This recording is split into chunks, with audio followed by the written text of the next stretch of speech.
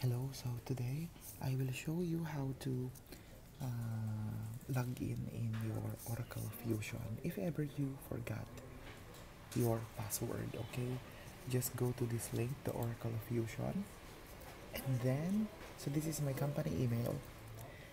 Now, what you will do is to put forgot password, click that one, and then enter your email here, your personal email so for example that's my email all right at gmail.com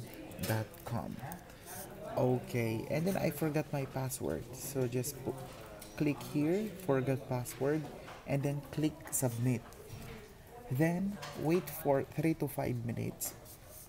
The system will uh, send you an email. Okay that's a link email. And then just click that link in your personal email and then it will go directly to the uh, uh, on how you will restore your password